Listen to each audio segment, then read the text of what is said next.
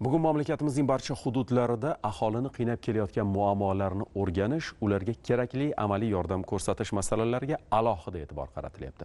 Mudofaa vazirligi harbiy shifokorlari ham eng olis hududlardagi mahallalarda bo'lib aholi uchun chuqurlashtirilgan tibbiy ko'riklar tashkil etishmoqda.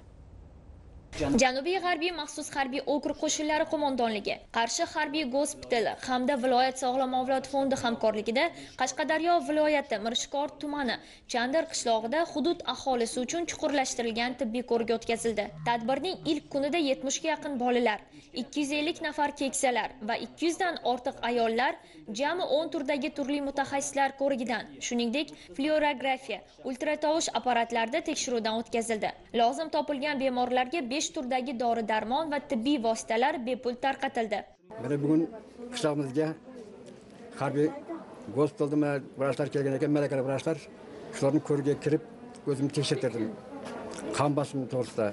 Menga bepul dorilar yozib berdi. Mana shu bizlarga kelib qishloqlarda bo'lsa ham kelib bizlarning sog'lig'imizni himoya qilish maqsadida davlatimiz g'amxo'rlik qilyapti. Rahmat shunga. Harbiy shifokorlarning navbatdagi manzili kasbi tumani cho'lquvor mahallasi bo'ldi. Tuman markazidan 60 kilometr masofada joylashgan mazkur hududda tibbiyot xodimlari yetishmaydi. Ibn sino oilaviy shifokorlar punktida bor yo'g'i bir nafar vrach faoliyat ko'rsatadi xolos.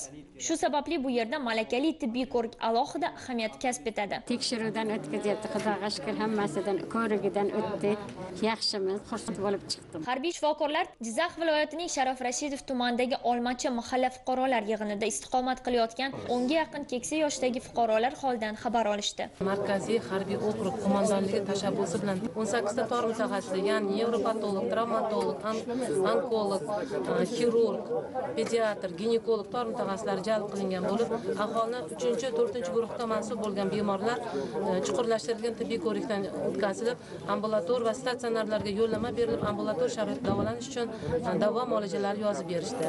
Sayyor tibbiy ko'riklar mamlakatimiz bo'ylab davom etmoqda.